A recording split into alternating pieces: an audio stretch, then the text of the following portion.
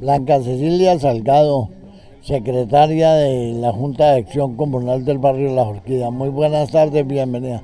La oferta deportiva, la oferta recreativa que se ofrece hoy de parte de la Administración Municipal de Mauricio Armitage.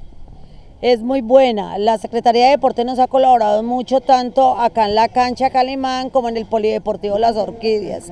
Tenemos Viva el Parque, nos acompañan con las las mm, madres comunitarias, nos acompaña todo el mundo. Secretaría de Deportes se ha tomado por completo el barrio Las Orquídeas y los dos centros deportivos que tenemos, que es el Polideportivo Las Orquídeas, que ahora el próximo sábado cumplimos 38 años de fundado el barrio Las Orquídeas y Secretaría de Deportes nos está apoyando con la rondalla y van a haber varias actividades lúdicas. Va a haber fútbol, va a haber juego de sapo, ajedrez, parqués y acá en la cancha también. Nos está apoyando bastante la Secretaría de Deporte en el barrio Las Orquídeas.